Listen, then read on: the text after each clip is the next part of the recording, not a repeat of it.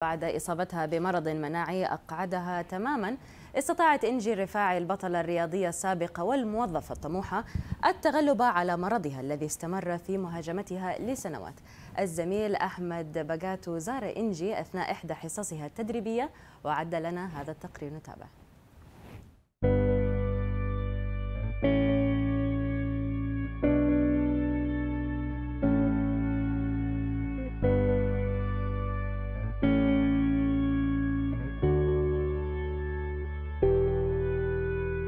أنا إنجي رفاعي آه، كنت بطلة سباحة توقيعية في نادي هليوبلس و...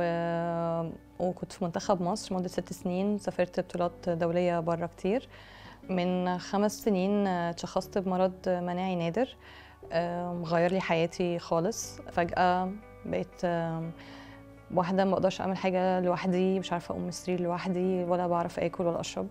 تقبلت فكرة إن أنا عيانة مع إني ما كنتش متقبلاها تماما يعني طول عمري عايشة بطلة وشخصية أكتف فكنت رافضة خالص الفكرة دي.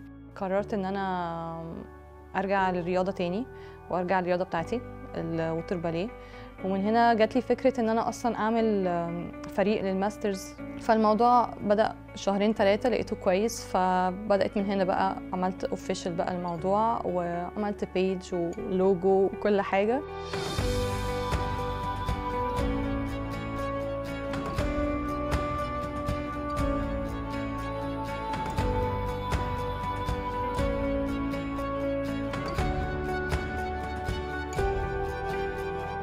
أنا حسيت إن الفكرة دي هتفيدها جدا وتفيدني أنا كمان جدا خصوصا في المرحلة دي.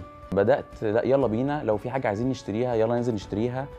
آه، مش مهم عدد الناس اللي هتتمرني معاهم أو اللي انت هتمرنيهم حتى لو بنت واحدة. أنا ما اعتبرش خفيت بس يمكن آه، نفسيا اتحسنت لما لقيت حاجة بحبها قوي بعملها بباشن و وبدراسه وبتعمق أكتر وفكرة إن أنا عارفة أساعد الناس دي آه، أكتر حاجة حاساها مساعداني حاسة ده part أساسي قوي من علاجي. اتقال لي أصلا إن أنا يعني أفضل ماشية على الأدوية اللي أنا باخدها وما أفكرش إن أنا أصلا أحمل ولا أفكر في الموضوع ده لأن مش هيحصل ومش هينفع.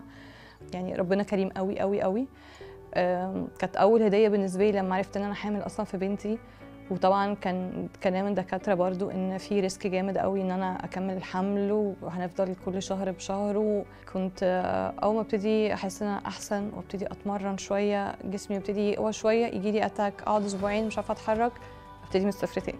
أحس تاني عضلاتي ضعفت أبتدي تاني. ببقى واحدة كأني لسه مولودة مش عارفة أعمل أي حاجة مش عارفة أعمل أي حاجة لوحدي خالص يعني جسمي ما بيتحركش. في الأول كنت ببقى لأ يعني طبعا محبطة جدا جدا وببقى تعبانة نفسيا جدا بس آه، بقيت خلاص بقى كده ببص لها إنها هتعدي وبقيت بشوف طرق مختلفة إن أنا أعديها بيها بقيت بجرب أنا مع نفسي بقى.